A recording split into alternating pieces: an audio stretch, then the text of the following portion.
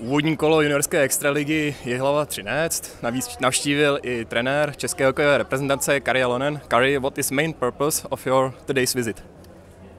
No, first of all, you know, like uh, me and Mickey Pross, who's a head coach in uh, in the under 20 team here, so he asking me to come to watch the first game, and uh, at the same time, you know, like of course I want to visiting different uh, different places where the different kind of hockey is playing. So this is I see in the first junior game what I have been seeing now, and uh, of course I talk with the Mickey there to to understand a little bit uh, how they're practicing and like uh, school and uh, the sport how is that commitment is here in uh, in the Czech Republic.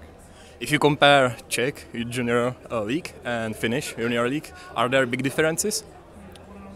If I watching this first period, I, I really uh, happy to see that there's a lot of speed, uh, good contact too. You know, like and uh, I like it what I saw it. It's not uh, it's not anything different in Finland too.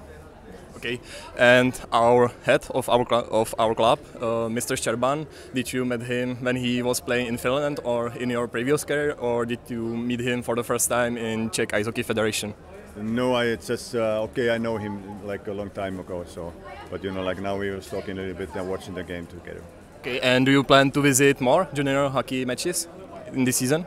Yes, I have. I have planned. You know, like uh, I have to. Of course, the extra league start like uh, two weeks, and then uh, Czechia leagues is starting. Yeah, so the I want to see the as much as I can can uh, follow in different places, and of course, uh, first time, long time to be in in Jihlava too. So it's uh, nice to see this uh, these uh, facilities.